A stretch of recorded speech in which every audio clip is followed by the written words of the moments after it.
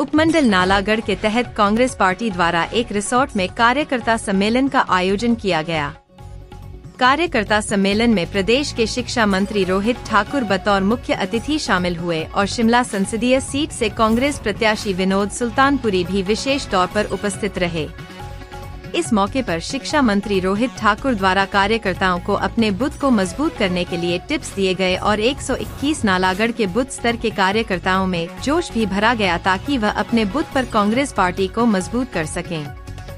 इस मौके पर मीडिया से बातचीत करते हुए प्रदेश के शिक्षा मंत्री रोहित ठाकुर ने कहा है कि पिछले पाँच वर्षों में भाजपा का सांसद एवं मौजूदा भाजपा का प्रत्याशी सुरेश कश्यप क्षेत्र का विकास करवाने में पूर्ण तौर पर नाकाम रहे हैं और अब उन्होंने कहा है कि भाजपा के लोग प्रदेश में आपदा के दौरान करोड़ों रुपए राहत राशि के रूप में देने की बड़ी बड़ी बातें कर रही है, जो कि मात्र कागजों तक ही सीमित रह गई है। जमीनी स्तर पर ऐसा कोई भी कार्य बीजेपी के सांसद द्वारा नहीं किया गया है और मात्र यह अफवाह चुनावी जुमला है और लोगों को ऐसे जुमले देकर मात्र बीजेपी वोट बैंक की राजनीति कर रही है। विधानसभा क्षेत्र का हमारा कार्यकर्ता सम्मेलन था, जिसमें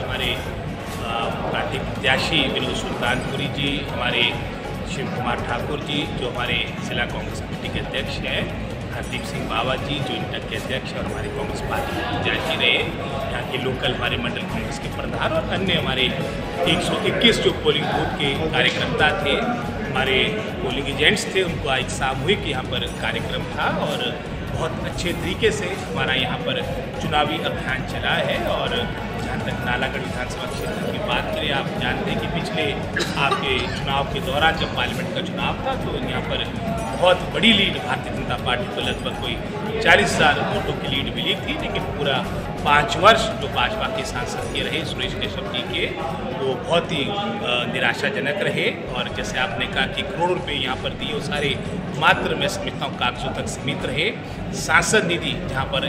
डायरेक्टली आपकी एमपी की एक, मैं समझता हूँ रिस्पॉन्सिबिलिटी होती है, एक जवाबदेही होती है। अगर मैं इसी विधानसभा सेगमेंट की बात करूँगा, नालागढ़ की, जहाँ सर्वाधिक आपकी सत्रह विधानसभा क्षेत्रों में जो सर्वाधिक लीड रही 2019 में भाजपा की यहाँ रही थी। आपकी सैंतालीस में से आपकी लगभग सताईस ऐसी पंचायतें जहाँ पूरे पाँच वर्ष में एक मोटी कौड़ी आपने नहीं दी, एक रुपया, एक स्कीम एक योजना आपने नालागढ़ के लिए नहीं स्वीकृत की, जो वो हज़ारों करोड़ की बात कर रहे हो तो मैं समझता हूँ सिर्फ़ चुनावी बातें हैं और उसमें कोई भी उसमें सच्चाई नहीं है और साथ ही साथ हमारे क्षेत्र, क्योंकि हिमाचल प्रदेश से सिर्फ़ चार आपके एम आपके पार्लियामेंट में लोकसभा में जाते हैं और आवश्यकता है कि हमारे जो मुद्दे हैं, क्योंकि हमारा पहाड़ी क्षेत्र है, हमारी